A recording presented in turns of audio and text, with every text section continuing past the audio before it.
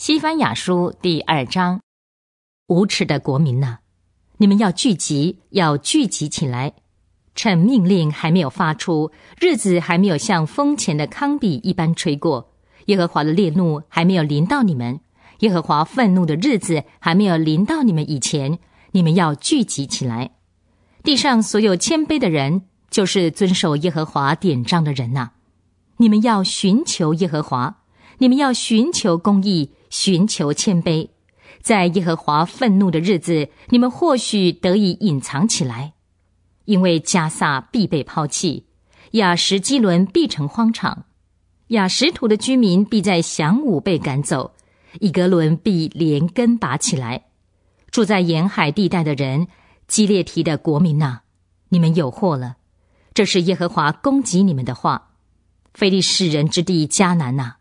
我必毁灭你，使你那里没有人居住。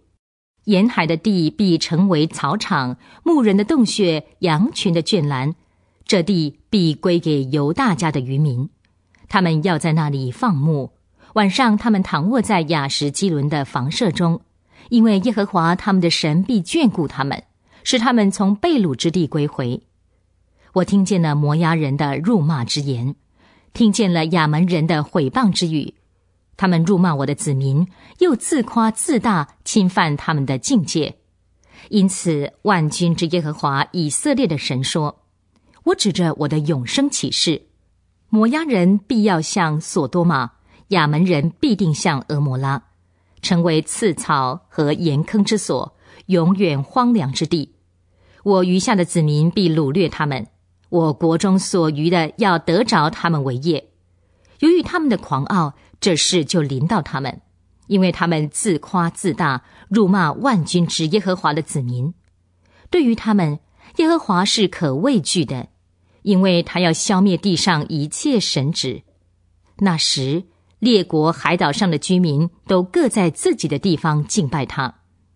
古时人呐，你们也必被我的刀剑所杀。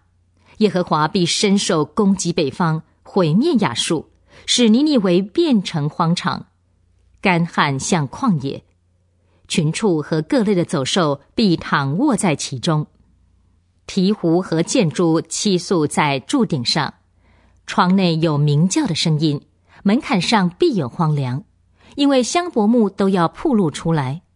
这就是那欢乐安居之城。他心里曾说：“只有我，除我以外，再没有别的了。”现在怎么竟成了荒场、走兽躺卧之处呢？凡从那里经过的，都必无手嗤笑。